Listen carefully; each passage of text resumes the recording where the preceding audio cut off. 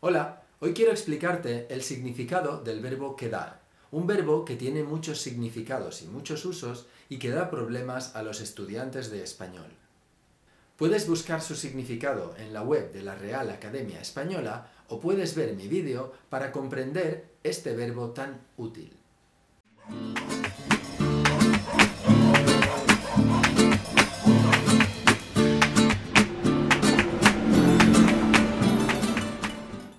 Este vídeo llevo esta camisa que me queda tan bien. Si te quedas ahí, puedes ver que todavía me quedan muchas ideas en mi mente. Con este vídeo no espero que te quedes sin palabras. Puedes comentar o hacer preguntas sobre más dudas que tengas de este verbo. Los comentarios son buenos para quedarte con el significado del verbo quedar. Pero he quedado en explicarte el significado de este verbo, ¿no? Pues vamos allá. Si has escuchado bien, habrás oído que he usado el verbo quedar seis veces con seis significados diferentes. Hay otros usos de este verbo, pero creo que estos seis son los más habituales y los más útiles. Vamos a ver otra vez las frases. En este vídeo llevo esta camisa que me queda tan bien.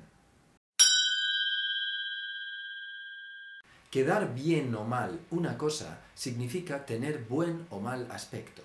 Lo usamos mucho con ropa, por ejemplo. Seguro que hay un color o unos zapatos que te quedan mejor que otros, ¿no? Si te quedas ahí... Quedarse en un sitio significa no moverse. Por ejemplo, si me quedo aquí, creo que tengo un buen plano para el vídeo, ¿no? Puedes ver que todavía me quedan muchas ideas en mi mente. Quedar se usa también para decir que todavía hay algo que antes teníamos. A final de mes, después de pagar todas las facturas, probablemente no queda mucho dinero en tu cuenta bancaria. ¿O sí? Con este vídeo no espero que te quedes sin palabras. Usamos quedarse más una expresión que significa un cambio rápido de estado. Si miras directamente al sol, te puedes quedar ciego un momento.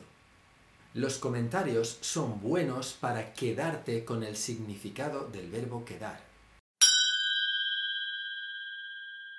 Quedarse algo o quedarse con algo significa retener una cosa o una idea cuando me hacen un regalo, normalmente me lo quedo, no lo devuelvo o lo cambio por otro.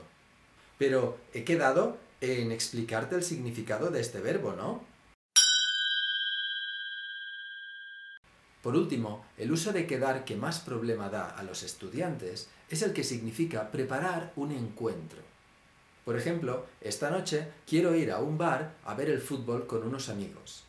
Primero voy a quedar con ellos y después nos vemos en el bar.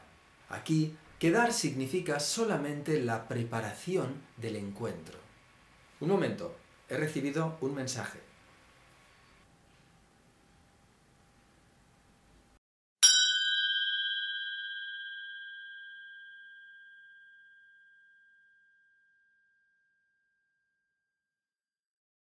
Bueno, tengo que terminar que he quedado para ver el fútbol Real Madrid contra Barcelona.